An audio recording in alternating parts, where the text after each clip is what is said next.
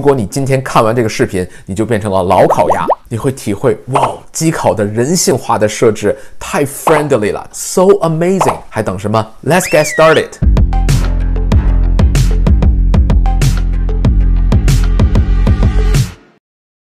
机考和笔试，你更青睐于哪一个呢？机考有自己的外挂模式，你知道吗？机考更容易出高分，你觉得是传说吗？这就是最近咱们机考的三个热议话题。那今天呢，Lawrence 老师就跟大家去做一个深度的解析。如果你还没有订阅我们的频道，请点击订阅并打开小铃铛，不要错过了每周都会跟大家去分享的雅思和英语学习的干货。今天跟大家聊的第一个话题就是选择雅思机考的四大理由。理由一：雅思机考更安全。按照规定呢，雅思机考不能安排超过十位同学同时进入考场参加考试。那基本上咱们参加考试的人数呢，固定在五到六位，所以相对来说呢，考试的流程严格遵守社交距离 （social distancing） 和防疫标准来安排。除口罩、消毒洗手液外，考前还要签字确认自己并无类似流感症状，才能进入考场。所以机考的安全性是可以保证的。咱们选择机考的第二个理由就是它的时间灵活性。大部分的笔试都安排在每周六这个时间，一个月呢最多只有两到四次，这样的安排非常不方便。相较而言呢，机考给你选择的范围就比较广，周一到周五、周六、周日都可以去选择参加考试，所以非常的方便。第三个选择机考的理由呢，就是它的出分非常的迅速，大家等三到五个工作日 （business day） 就可以收到你的成绩了。有些比较夸张的考场，转天就出了成绩，真的是比流星还快，搞得很多考鸭非常的 confuse，。究竟有没有认真的给我判卷呢？出分快的另外一个好处就是，如果这次考的不理想，我就可以马上去报下一场考试，或者呢通过复议来得到我满意的这个分数。机考的复议的速度要比纸质来的更快一些。选择机考的第四个理由呢，就是机打更自在。机打的好处呢，一个是快。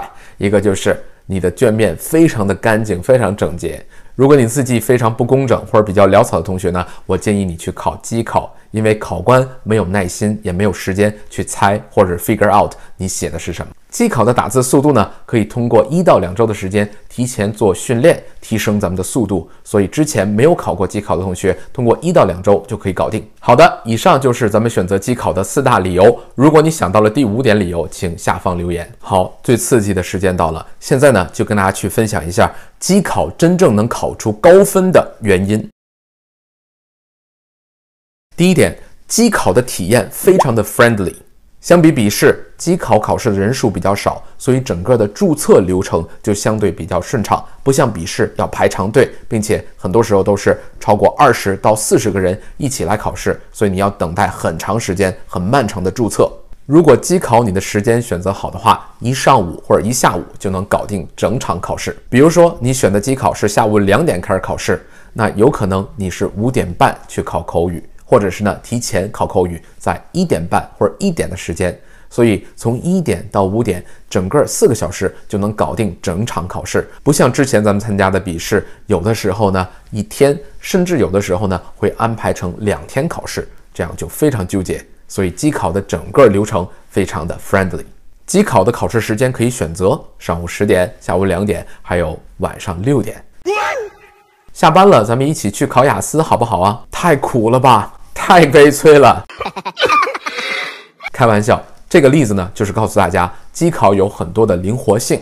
像很多的 night owl，就是那种夜猫子同学，那六点可能是最适合他，因为他刚醒。第二个机考能出高分的原因是它的操作好 friendly 啦。如果你是第一次参加机考的考压，你会觉得哇，手忙脚乱，整个人都不在状态，尤其是听力根本就跟不上。如果看完今天的视频，你就不会手忙脚乱，你就变成一个机考的 old hand。Nice。那咱们分为听说读写这样来讲。第一个，机考听力，机考听力呢非常的 friendly。怎么讲呢？第一个就是它的耳机都是非常高质量、高清晰的耳机。在机考考试的页面上，除了可以调节音量以外，还可以调整字体的大小。你可以选中号甚至大号字，照顾了我们这种大龄的考生。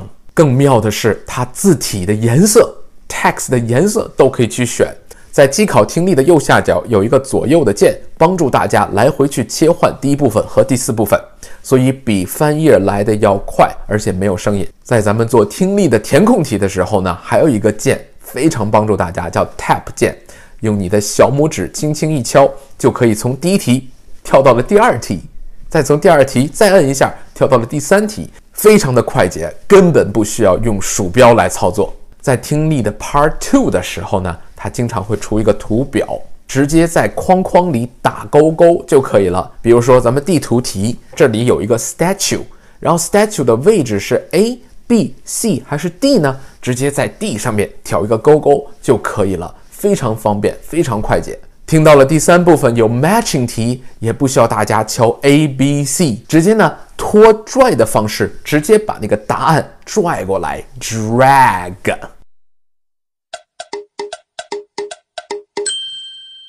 有一次机考听力考完之后，一个同学跟我分享：“老师，我研究怎么去做这个题，研究了两分钟。”我说：“很简单，拖拽，drag，拖拽过来，drag。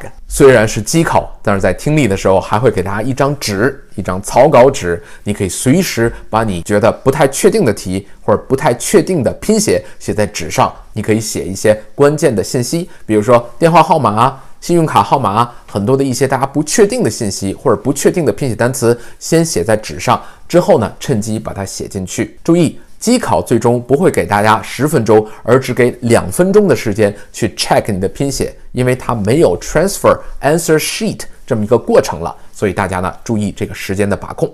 机考的阅读就更爽了，一个大屏幕中间切一半，分屏显示。左面显示原文，右面显示 question，可以快速的定位，找到你所需要的信息。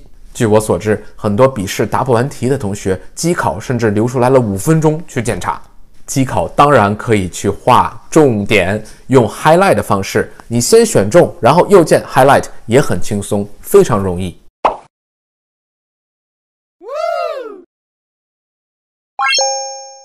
更 amazing 的是，如果你看到阅读填空里的答案，直接 copy paste 就可以了。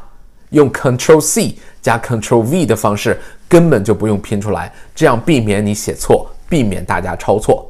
机考的写作就更不用说了，是最爽的一项。首先，机考写作它有自己的提示时间。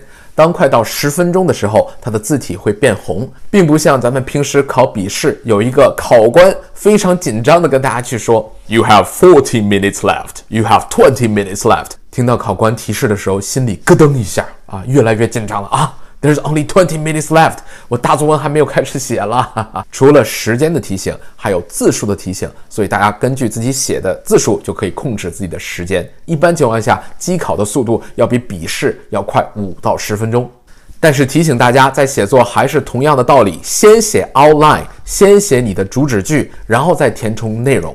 如果你只需要六分的同学，那太 amazing 了！你可以直接把你的 template 直接抄上去，直接腾上去，再加上一些内容的词汇就可以了，太 amazing 了！如果你是想考到雅思七分写作的同学呢，有很多的技巧在机考里面，你可以 copy paste 随意挪动那个位置。与此同时呢，你可以加 fan boys 和 a white bus。